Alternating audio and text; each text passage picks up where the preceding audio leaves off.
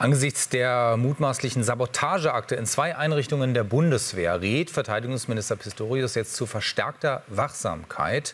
An beiden Standorten in Köln-Wahn und auf dem NATO-Stützpunkt in Geilenkirchen habe man aber schnell reagiert. Zugänge gesperrt, Kontrollen verschärft, Ermittlungsbehörden eingeschaltet und auch Laboruntersuchungen veranlasst. Jonas Feld mit weiteren Details. Die Kaserne in Köln war dicht, der NATO-Stützpunkt in Geilenkirchen abgeriegelt.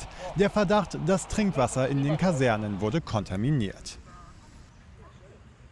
Wir haben einen Anstieg äh, eines abnormen Wasserwertes gehabt und äh, der Techniker, der dann hier rausgekommen ist zu diesem Wasserwerk, hat dann ein Loch im Zaun festgestellt und daraufhin wurde das Wasser abgestellt und äh, die Kaserne wurde geschlossen, um zu verhindern zum einen, dass das gegebenenfalls äh, kontaminierte Wasser äh, noch getrunken wird und zum anderen, dass eben, weil es nicht ausgeschlossen werden kann, dass der, der oder die Täterin sich noch auf dem Gelände befinden. Das Beide Stützpunkte liegen in Nordrhein-Westfalen. Am NATO-Stützpunkt in Geilenkirchen wurde deswegen die Sicherheitsstufe erhöht. Dort sind AWACS-Aufklärungsflugzeuge stationiert. In der Kaserne in Köln-Wahn direkt am Flughafen Köln-Bonn befinden sich Teile der Flugbereitschaft des Verteidigungsministeriums.